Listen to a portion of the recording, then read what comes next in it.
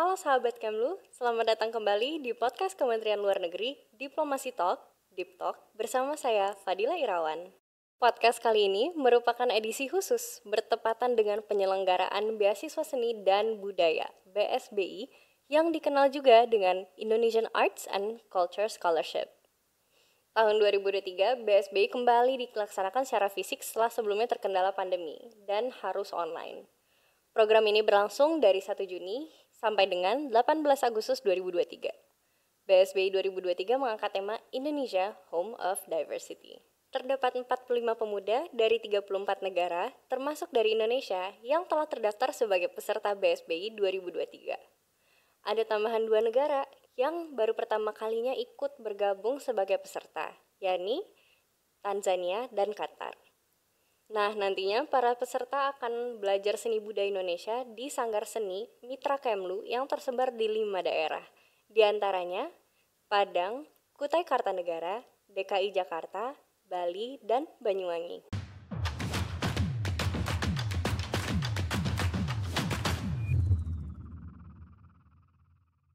Halo sahabat Kemlu, saat ini saya bersama dengan Miss Iva Michanovic dari UK. Yuk kita ngobrol tentang Iva tentang acara ini. Hi Iva, nice to meet you. Hello. First of all, congratulations and welcome to Indonesia. Thank you so much. It's such an honor to be here. Um, first of all, can you tell us about yourself and maybe your journey to become an awardee? Okay, it's quite a long journey, but yes. Hi, I'm uh, Eva Michanovic. I'm uh, from the UK, but I consider myself uh, a bit of a European cosmopolitan since, apart from UK, I've- been living in uh, four different European countries. Uh, so my journey with Indonesia started during my undergraduate studies, which were in Austria. I uh, am studying musicology, ethnomusicology more specifically. So um, I got introduced to the culture of Indonesia through my uh, degree, through through my program, and I was mesmerized by it when, I first encountered the gamelan culture, the, all the lectures about Indonesia, and then uh, before my um, after my bachelor program, before my master's, I spent one year in Serbia. And there I was a part of a dance studio, and I was uh, dancing Indonesian dances, also in Serbia and abroad, in, in Bulgaria specifically. And now I'm living in Amsterdam. I'm doing my master's degree, and I'll be writing my master's, uh, master's thesis on uh, Balinese gamelan and Balinese culture. Ah, I see. That is is so interesting. Quite a long journey, yeah. Quite a long journey indeed. Why were you interested in applying for the program actually? I mean, how, how could I not be? I mean, after four years of, of, of studying about, about this culture, I mean, to get a chance to be here, especially I was studying it during COVID, so in my mind it was, well, I was locked in my room, I was just picturing this, these amazing sights of Indonesia, of all these wonderful sounds. And uh, now that I got, I finally gotten to be here, it's, uh, I mean, I'm overwhelmed. Have you, uh, beforehand, have you ever heard of Indonesia before, and have you previously visited Indonesia? This is actually my first time outside of Europe, so no. um, but I've, of course, I've heard of Indonesia, but I didn't really know anything before uh, my university. But it was all at once, such a big. Uh, it, it was one of the most important lectures in my course, and I followed it for a year, and I, I really fell in love with it. Okay, so I heard that you've been in Indonesia for a while now, and I think that maybe there's a couple of experiences or um, journeys that you've had that is quite particularly interesting for you. What would it be? Exactly. So there's this beautiful anecdote that I that happened to me while uh, visiting Jakarta, while touring Jakarta, that I actually want to share as an additional message. So uh, we've two days ago actually we had the city tour. We went all around, and uh, we visited the mosque and the cathedral that are actually across the street from each other. But what I heard there is a very, very beautiful idea. Someone said, please, when you go back into the world, uh, wherever you come from, don't say that in Jakarta uh, mosque, the mosque and the cathedral are across each other, but rather that, that they're side by side. And I think that's such a beautiful message to, to spread. It is such a beautiful message of tolerance, isn't it? Yes, of course. So here it is. I'm going to do that now. I'm not going to wait to get back. I will. I will say it right away because it really uh, stuck with me. If you if you were to like uh, if you were able to travel to Indonesia anywhere in Indonesia, where would you travel first? Well, to Bali, uh, of course, because uh, because I'm mainly interested in uh, in gamelan. But um, during my uh, when I was in Austria during my studies, I also got a chance to play Javanese gamelan, which I also loved. So that would be amazing. And uh, during my times uh, with uh, Bidadari Dance Studio, I uh, was dancing uh, dances from Sumatra mainly, which I love. I loved uh, dancing them, so that would also be, I mean, Sulawesi as well. So, I mean, I can't really choose, but Bali, Bali would be my first choice. Same. I love Bali as well.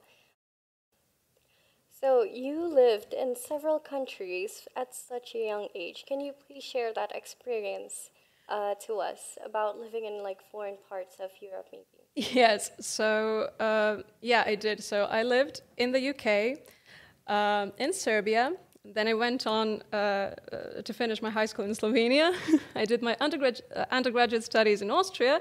Uh, spent another year in Serbia, like in between, and now I'm living in Amsterdam in the Netherlands. So Yes, actually, I've been most of my life. I've been thinking about myself that I'm this like global citizen, that I experience diversity uh, much more than other people, that I was privileged to, of course, to experience that.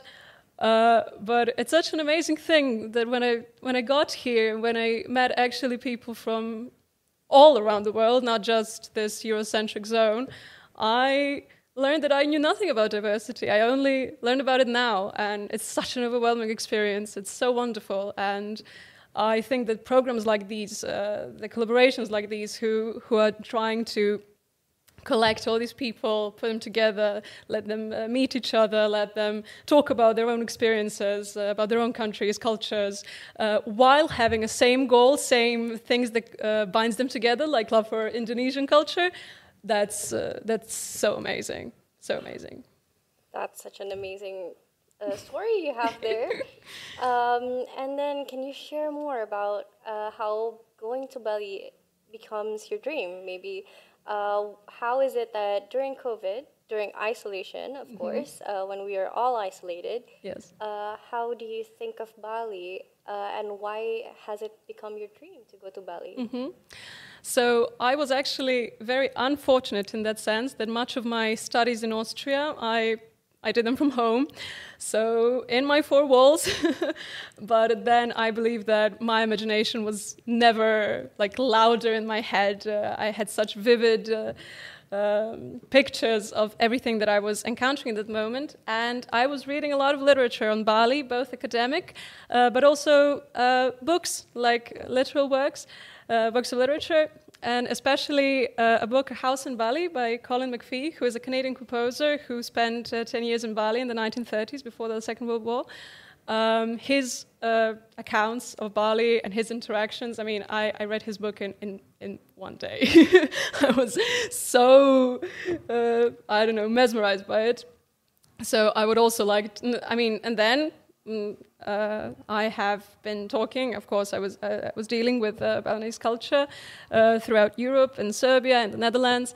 And everybody I've ever talked to said how people in uh, Bali are so warm, how they're so welcoming, that um, that they want to know so much about you. That, that those interactions so uh, yes, I, I, I, really want to experience that, and uh, the art of Bali, which was which is so to me, I don't know, inspiring to to see it live, to participate in those ceremonies. That uh, such a beautiful expression of religion that they have there. That I was studied so much. Uh, that I want to see that uh, that like collective spirit, how art is so engraved into into Balinese culture uh, in a way that it's not really in in Europe Europe and the West uh, that such ideas that of binding people through culture, through art, in various ways. Uh, that's so inspiring that I think that should be, those kind of messages should be spread uh, throughout the world.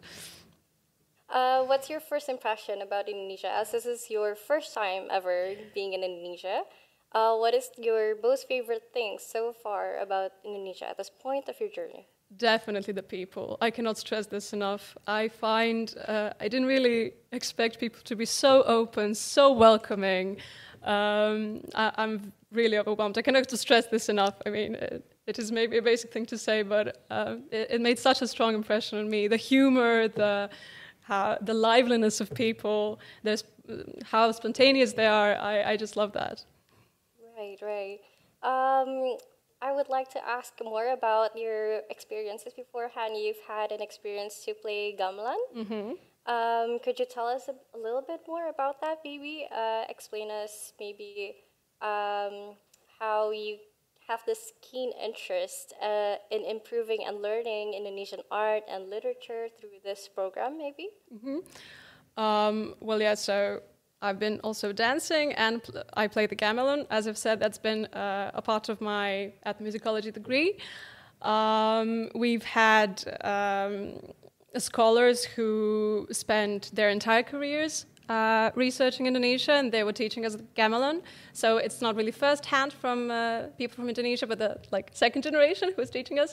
Uh, but I loved the the camaraderie, the the fact that we were all doing it together like an ensemble. I loved it. I loved the sounds. So uh, that was quite interesting. I did that for a year, ah. which inspired me to, of course, pursue then dances when I came to Serbia for one year.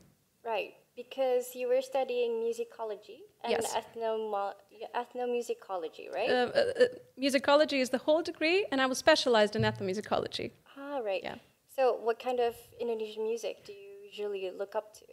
Well, gamelan from Bali. I mean, that's the main thing specifically. Yes, I mean, I was I was also uh, one of my main um, things that I was researching is the westernization of the gamelan, how Western composers came here and uh, researched the gamelan. Uh, when I came to, I mean, right now in Amsterdam, I am working with. Um, not with libraries, but, uh, but with archives, specifically with uh, Jaap Kunst collection and everything that was collected there. And I'm engaged in these repatriation programs who are tending to bring back uh, all these uh, research things back to local community. And uh, that's a very, very inspiring and daunting task. So, yeah. I heard that you actually have this beautiful voice and you're actually planning to share some of that beautiful voice with us. Just a bit. Can you sing a little bit? Um, um, any kind of song that you would like to try to sing? I mean, this is the, I can sing the theme song of our scholarship. I mean, just a couple of verses. Uh, but right now I'm flushing. But okay. Sure, sure. Take your time, take your time. The nation of thousand islands, we love you forever.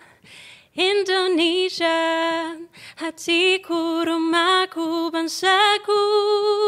Indonesiaku, Indonesiaku. Wow, I got goosebumps. Thanks. Uh, what do you expect to get out of the program, actually?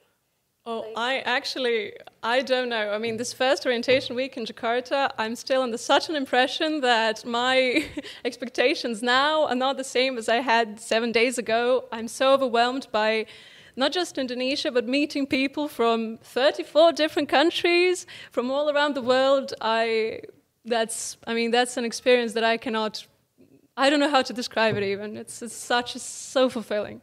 And you're gonna go to Bali for this program? Oh yes, and I'm very much looking forward to it. Gonna fulfill one of your dreams? yes. I'm um, going to compare my uh, experiences of Bali to my what was I envisioning during COVID. True. My dreams, my COVID dreams. Um, as a representative from the UK, how would you contribute to promoting Indonesia after the whole program is finished and you get back to the UK? Okay. Well, first off, I'll be back to Amsterdam because I have one more year of university. Um, well, my I'm first of all I'm a musical scholar, so I what is expected to me is to write articles about it. So I plan on contributing to Indonesian uh, culture mainly through academia, through researching, through talking about it in conferences, and stuff like that.